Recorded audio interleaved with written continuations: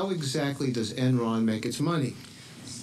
En toen iemand eindelijk die vraag durfde stellen, was het daarna vrij snel voorbij met Enron. Documentaires over de wereld van het grote geld.